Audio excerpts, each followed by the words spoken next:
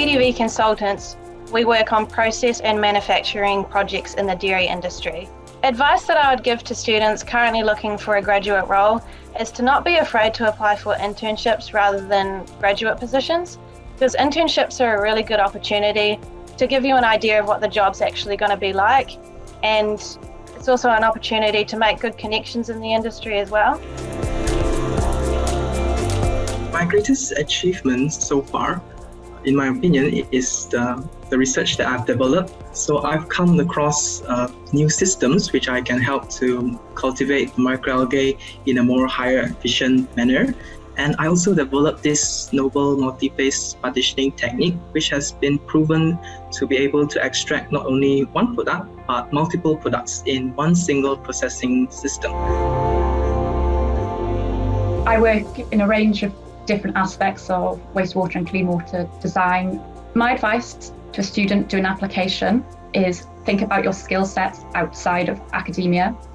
If, for example, you were part of a sports team, talk about teamwork and your commitment to that team. Yeah, my best advice uh, to students looking for a graduate role is to first understand yourself. What drives you, what motivates you, what are you good at? And when you understand this, then you look as well at the opportunities out there, what in an in industry, and you can see what you know what kind of matches. In my role, I lead a team of approximately 70 people based in eight different countries across Europe.